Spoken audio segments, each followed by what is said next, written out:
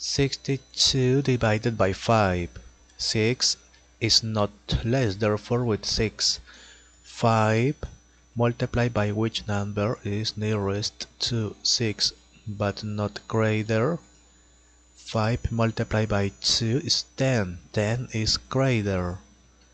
Multiplied by 1 is 5. 5 is not greater.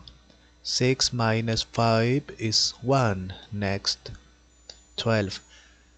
5 multiplied by 3 is greater. Multiplied by 2 is 10.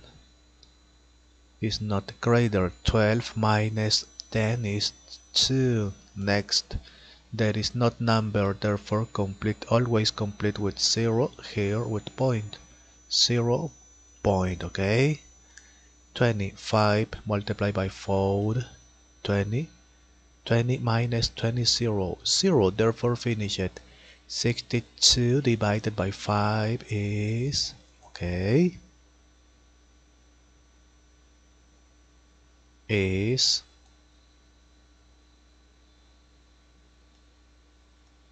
finish it